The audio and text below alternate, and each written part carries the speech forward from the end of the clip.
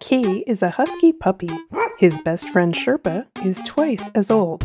But in two years, Key will be three quarters as old as Sherpa.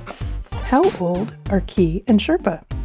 This is a very old kind of riddle, the age puzzle, associated with the Greek mathematician Diophantus.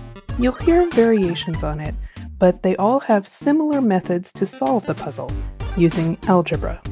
Let's translate the puzzle into math language.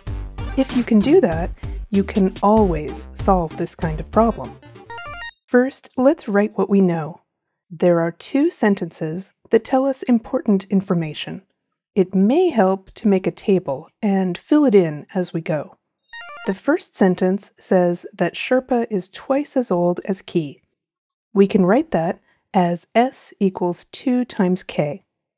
The next sentence says that in two years, Key will be three quarters as old as Sherpa.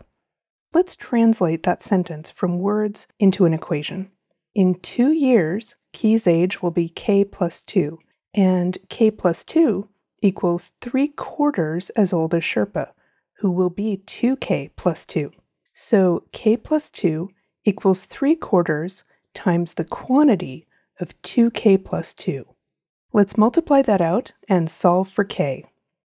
k plus 2 equals 6 over 4k plus 6 over 4.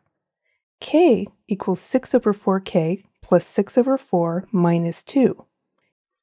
k minus 6 over 4k equals 6 over 4 minus 2.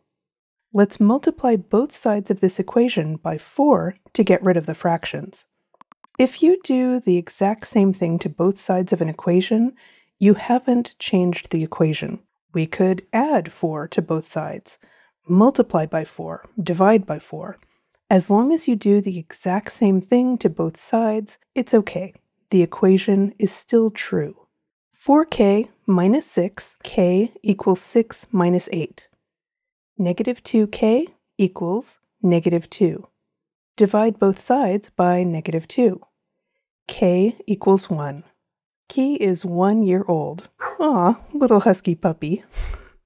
We wrote this equation, S equals 2K, to say that Sherpa is twice as old, so he's two years old. Let's check our work. In two years, Key will be three years old. Sherpa will be four. So yes, in two years, Key will be three quarters as old as Sherpa. They grow up so fast. Follow the link below to sign up for the free Socratica High algebra class so we can let you know when there's a new puzzle to solve.